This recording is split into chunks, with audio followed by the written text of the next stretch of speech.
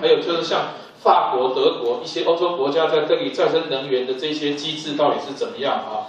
呃，还有其实 Michael 本身也是这个关于欧盟的这个核废除役跟核废料基金管理的议题，说不定这几个问题可以请他一起跟大家分享啊，谢谢。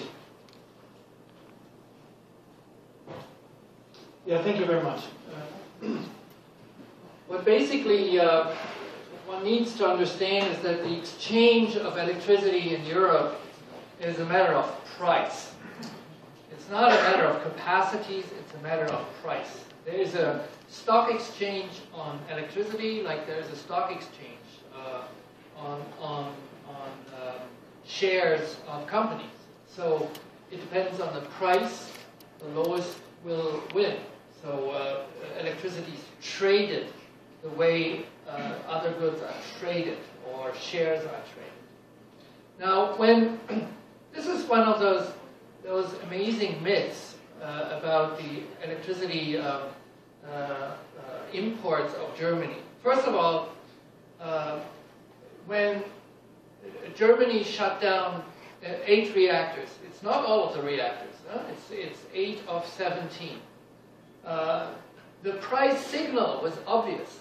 So obviously the price increased in the short term, and obviously there was some, some there was electricity flowing into, into Germany because the price signal that was given uh, uh, was, had this effect.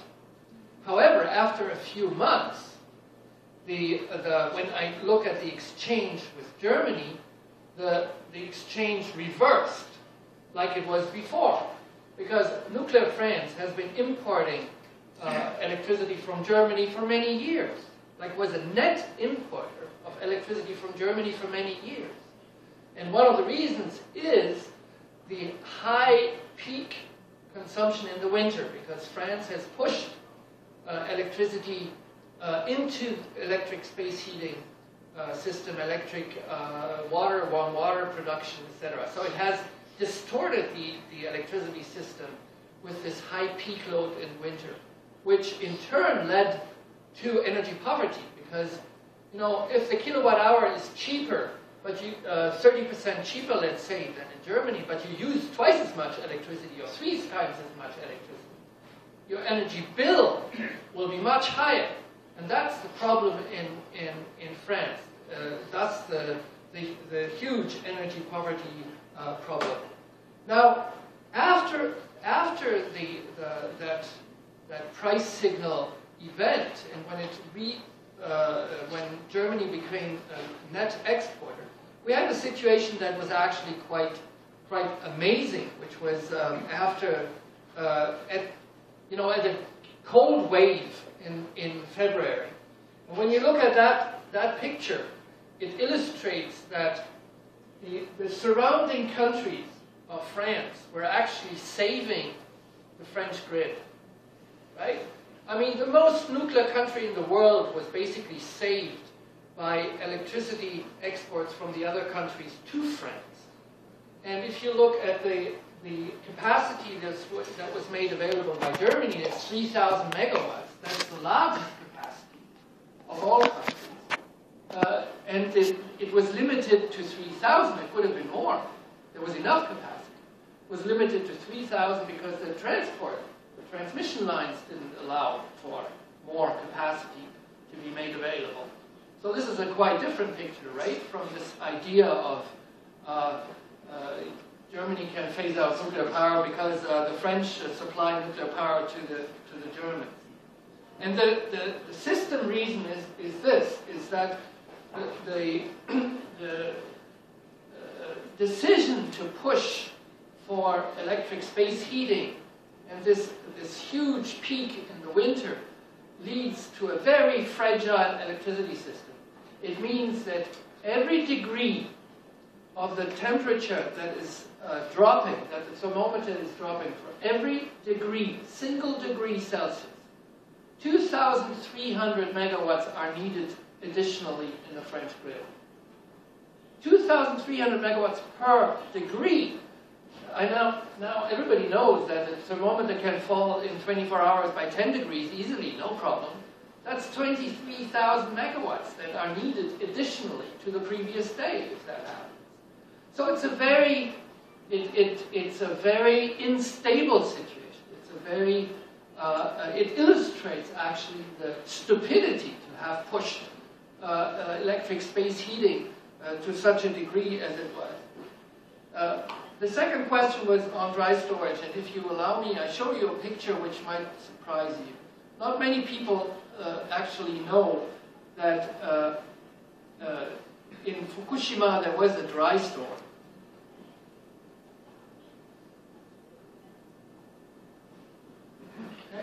Is anybody in the room that knew that there were actually dry store casks in, in Fukushima?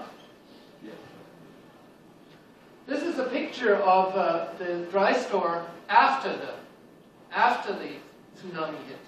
So all you see is basically few algae on the on the uh, dry store cask.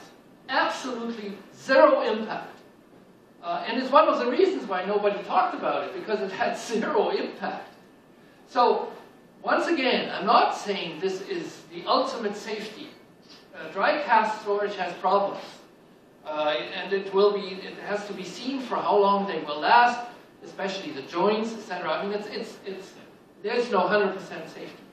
But it is incomparably more safe than the pool storage uh, that exists in particular at, at Unit 4. And the other one are other dry, dry uh, storage uh, casks. When it comes to acceptance, it's very interesting that in a country like Germany where it was decided to uh, prohibit by law the shipment of spent fuel to reprocessing facilities. And that was a, a matter of, that was an outcome of a democratic debate. People thought they understood reprocessing is, a, is a, an incredibly uh, um, uh, dangerous activity which, which, just to give you an idea, the radioactive releases of a reprocessing plant are, are thousands of times higher than a nuclear power plant. It's, it's not at all comparable with a nuclear power plant. So it was prohibited by law. And then the, the power plant operators decided to build dry stores on site, on each reactor site. And the acceptance level for those dry stores was extremely high. It doesn't mean that people have not debated about it and there was a discussion how to do it.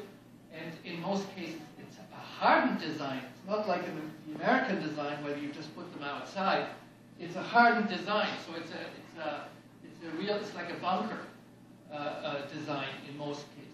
So, so there is debate about it, but the acceptance level is very high.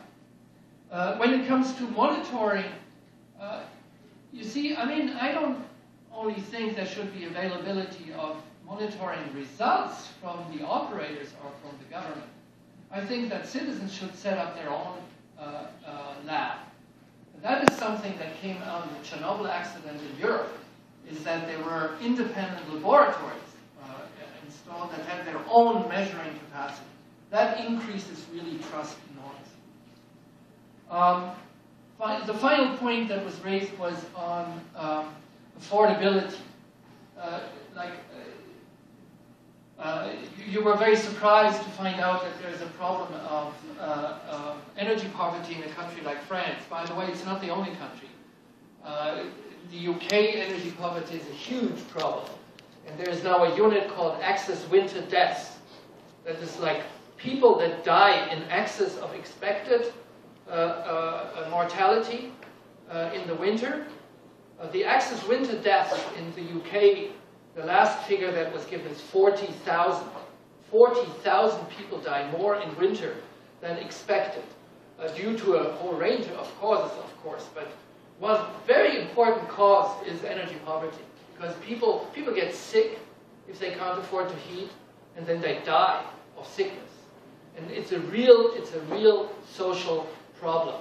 And there is debate about this, but it's a relatively new debate. And the, the data situation for, for most of the European countries actually, is actually still uh, very bad. When it comes to subsidies, yes, there is, the French government has decided 2005 to create what they called um, the, the tariff of primary necessities, which allowed people to get the kilowatt hour uh, for up to half, uh, 50% less than other people. So it's a very substantial subsidy. That subsidy is paid for by the electricity company, so the, the, the main part of it. So they basically subsidize themselves. But it also draws social funds in, in regional funds and, and national funds. So it's a huge problem uh, because it empties basically social funding that is not available anymore for, for, for other causes. This has, the subsidy, the, the primary necessity tariff has been increased after the economic crisis, so now it's up to 60% uh, uh, reduction of the uh, average electricity uh, cost. 呃，非常谢谢 Snyder，就是这些，呃，我觉得这个是蛮重要一些讨论，因为在这边在台湾谈的很多嘛。那可是时间实在是非常的有限啊，呃，我们也请这个子文老师也回答一些问题，因为刚提到问题，包括就是说能源政策要不要做环评啊，还有像很多的这个很多的这个在在讨论的过程里面，到底公民可以扮演什么样的角色啊？这个，请你也给。